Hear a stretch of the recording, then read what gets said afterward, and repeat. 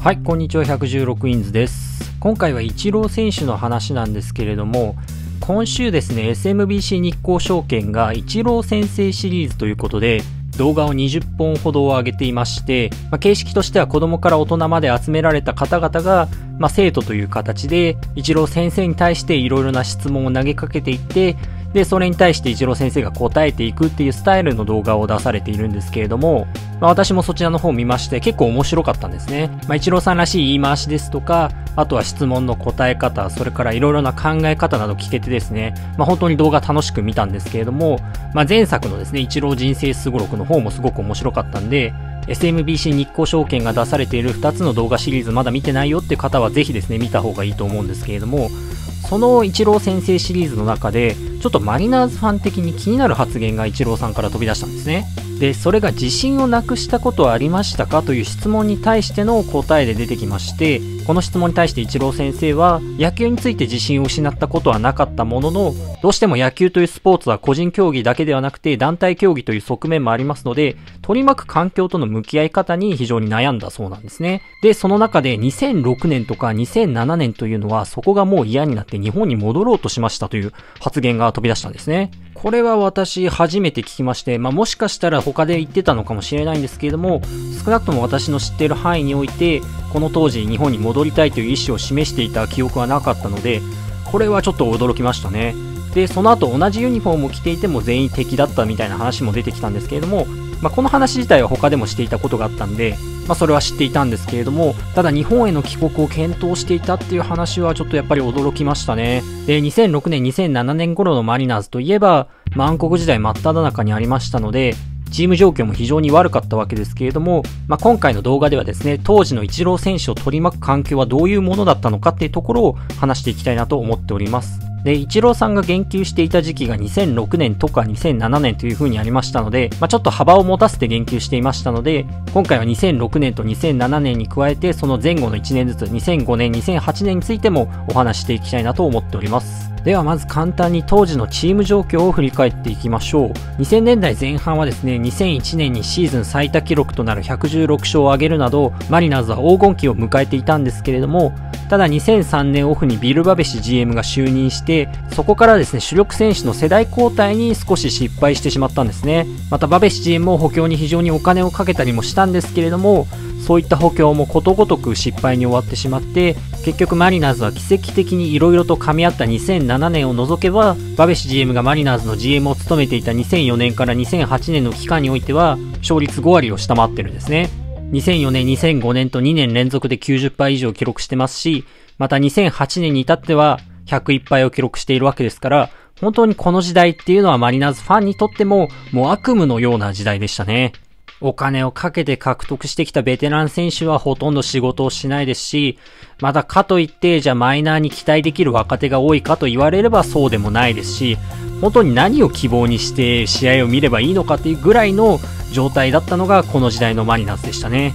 で、当然そのようなチーム状態ですから、選手のパフォーマンスも低調に終わっていまして、こちらは2005年から2008年の打撃、それから投手のまあ、成績のリーグ内順位を示したものなんですけれども、まあ、ほとんどのカテゴリーにおいて本当にリーグの下から数えた方が早いぐらいの状態でしたね。で、こんなチーム状態においても、イチロー選手は、この期間打率3割、200アンダー、オールスター、そしてゴールドグラブ全てを達成しているんですけれども、ただ、イチロー選手自身が、まあ、リードオフタイプということもあって、やっぱり彼を支える選手が他にいないとなかなかイチロー選手自身ももっと輝けないという部分もありましたので、当時のチームにはそういった選手も多くなくて、まあ、彼を支えることができなかったんですね。そういったチーム状況でしたので、チームが低迷してしまうのもやむを得ないのかなと思いますね。で、この当時、イチロー選手がチーム状況を非常に不安視しているなんて記事も出たりもしたんですけれども、チームメイトたちはどう思っていたのかと言われますと、そんなに危機感を覚えていなかったみたいなんですね。以前地元メディアであるシアトルポストインテリジェンスが、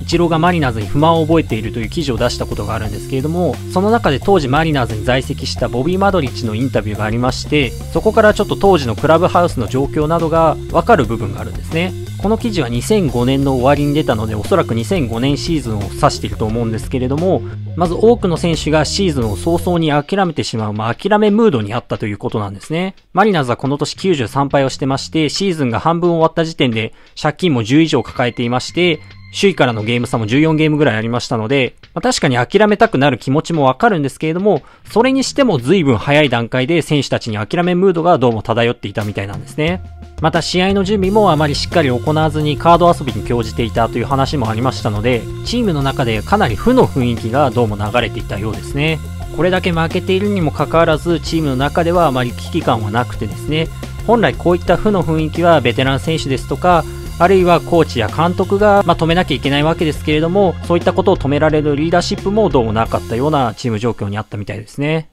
で、これは個人的な推測でしかないんですけれども、2005年当時のマリナーズというのは、ま非常に若手選手、特にマイナーから上がったばかりの選手が非常に多いチーム状況でしたので、そういった選手はチームの勝ち負けっていうところよりも、まずはマイナーから上がれたっていう喜びの方がおそらく大きくてですね、まだまだそういった危機感が薄かったのかなっていうところはあると思うんですけれども、やっぱりそういった姿勢を正すのがベテラン選手だったり、コーチ監督の役割だと思いますので、そこの本来危機感を植え付けなければいけない人たちが機能不全に陥っていたというところが、マリナーズのこのような雰囲気につながっていたんじゃないのかなと思いますね。イチロー選手といえば特にプロ野球選手の中でもプロ意識の高い選手でして、試合前の入念な準備など非常に有名ですけれども、こういったマリナーズの雰囲気の中で、まあ、悪く言ってしまえばプロ意識に欠けたような雰囲気の中で、モチベーション高くプレーし続けることは本当に難しいことだったんじゃないのかなというふうに思いますね。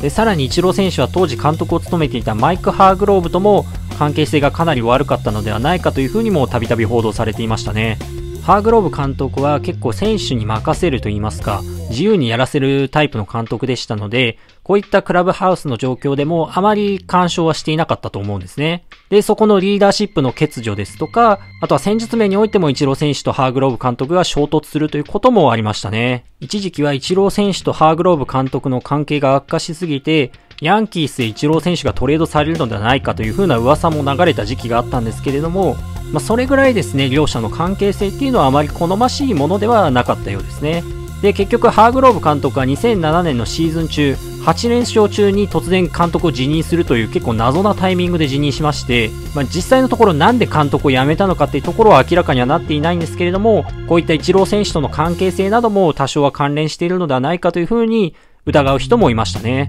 なので当時のマリナーズではチームメイトのみならず監督もイチロー選手を支えるような立場にはちょっとなかったようなチーム状況にあったんですね。で、そういったチーム内での関係の悪化の極めつけが、いわゆるイチロー襲撃計画の報道につながってくるんですね。これはシアトルタイムズが2008年の終わりに報道した事件でして、で、ただ実際のところ本当にこういった計画があったのかはちょっと不明でして、というのもこの件については他のメディアから続報が全くなかったので、本当にこういった計画があったのかっていうところはやや疑問なんですね。ただこういった記事が出たのは事実なので一応記事の内容をご紹介しますと複数の選手がイチロー選手に対して不満あるいはイチロー選手を嫌っているというふうに書かれていましてというのもチームの成績を顧みずにイチロー選手が自分の成績ばかり追い求めているというふうに思っていた選手がどうも多いみたいなんですねでそのうちの1人の選手はイチロー選手に対する不満が爆発して、イチロー選手に対して暴行を加えることを示唆するような発言をして、で、これを聞いた当時の監督であるジム・リグルマンが緊急ミーティングを開いて、なんとか未遂で終わらせたというふうなことが起きたというふうに記事の中では書かれていたんですね。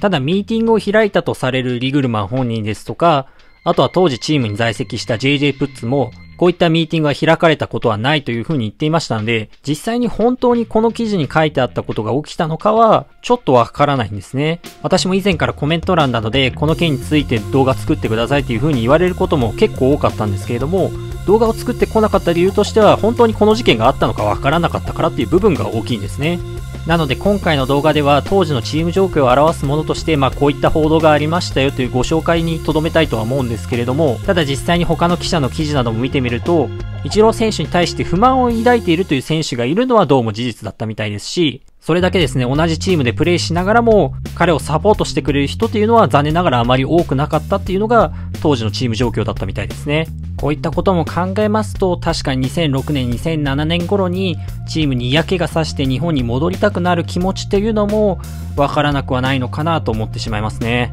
ただこういった問題というのはやはりマリナーズが弱かったからこそ起きた問題だと思いますね。当たり前ですけれども、強豪チームでこのようなまあ言ってしまえばレベルの低いチームメイトを抱えるっていうこともおそらくほとんどないでしょうし、ましてやチームメイトに対して暴行を加えようとする選手なんてまずいないですから、やっぱりマリナーズが弱かったからこそ起きてしまった問題ですね。チームが長らく低迷し、誰かを悪者にしたい。そんな中で淡々と成績を残し続けるイチロー選手の姿っていうのは、結果を出せてない選手からすると本当に妬ましいと言いますか、あいつがうまくいってるのは自分のことしか考えてないからだと、そういう風に考えた結果が、まあ、こういった時代を生み出してしまったのかなと思いますね。なので翌2009年にケン・グリフィー・ジュニアが復帰し、さらに FA でマイク・スウィーニーが加入したことで、そういったイチロー選手への負の空気を止められる選手が来てくれたのは、本当に良かったなと思いますし、それこそ彼らが来なかったらあまり考えたくもないですけれども、イチロー選手のマリナーズ自体はどうなっていたのかというふうにも思ってしまいますね。イチロー選手という野球界の歴史に残るような選手が、残念ながらこういったチームのこういう時代を歩むことになってしまったのは本当に不幸なことではあるんですけれども、ただそれでもイチロー選手は毎年結果を残し続けてくれて、で、さらにはキャリアの最後はマリナーズで迎えてくれましたので、本当にファンとしては感謝の気持ちしかないですね。こういった最悪の暗黒期ですとか、チームの文化っていうのは繰り返してはいけないと思いますので、次の時代のマリナーズを築く選手たちには、ぜひですね、良い文化を築いていってほしいなと思います。ということで今回の動画は以上としたいと思います。また今後もですね、メール B に関する話題を皆様にご提供できればと思いますので、良ければチャンネル登録の方もよろしくお願いいたします。それではご視聴ありがとうございました。